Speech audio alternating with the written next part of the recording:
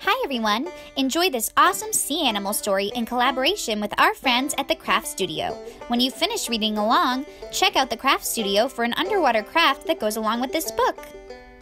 Welcome back to Book Nook's online story time. Today we'll be reading Dolphin Finds a Star by Moira Butterfield, illustrated by Alex Burnett. One night in the moonlight, a baby dolphin called Splash looked up and saw a shooting star. It zoomed across the sky and disappeared. That star has fallen into the water, Splash cried. I would like to find it and give it to my mommy as a present.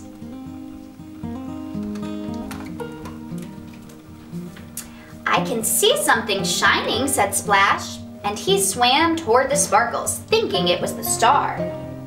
But when he got closer, he saw that it was a shoal of flashing fish, wiggling and weaving through the water. Lots of flashing fish here. What color are these fish? That's right, they're purple. Then, Splash saw something glowing above his head. There's the star. My mommy will be so pleased, he thought happily, and he swam toward the shining light. But when he got closer, Splash found that the light was a lamp shining on the very top of a sailboat. Wasn't the star after all?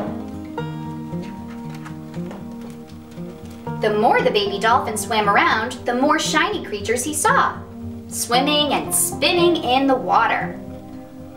We have a shiny blue seahorse, a sparkly green octopus, a sparkly yellowfish. There were flashing fish, jiggly jellyfish, and even sparkly seahorses, but the fallen star was nowhere to be found. Uh-oh, where did it go? At last, Splash saw a light that was much brighter than all the rest. He swam toward it, hoping it would be the star. He swam through an underwater garden of swirling seaweed and shimmering shells. He even swam past a pile of pirate treasure.